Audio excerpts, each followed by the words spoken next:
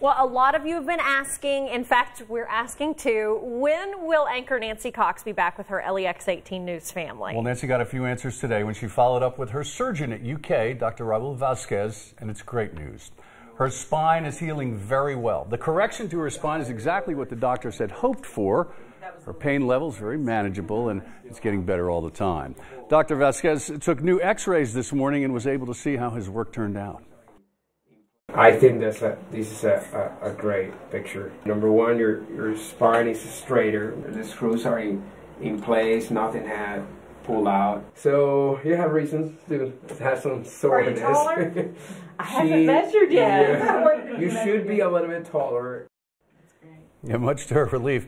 Nancy was given the okay to ditch that bulky brace she's been wearing. She can increase her activity level slowly but her surgeon is still cautious because of how much work they had to do to her spine. As her recovery continues, Nancy wanted to say how much she appreciates everyone who sent well wishes and encouragement along this difficult journey, and thanks to all of those at UK and elsewhere who have helped along the way.